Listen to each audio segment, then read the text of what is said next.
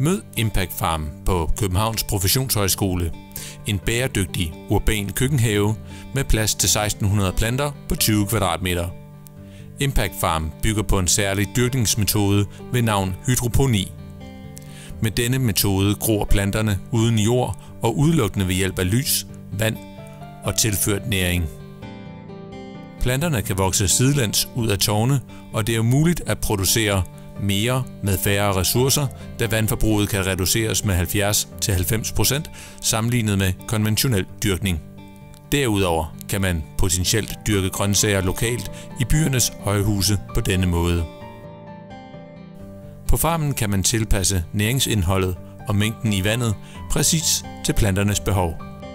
Hermed er det muligt at skabe noget nær de optimale forhold for afgrøderne og dermed en hurtigere og kraftigere vækst.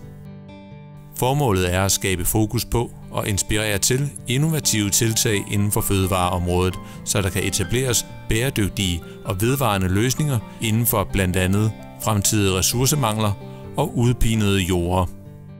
Når man besøger farmen, er der mulighed for at være med til alle processer og få fingrene i alt fra frø til blade og den innovative teknologi.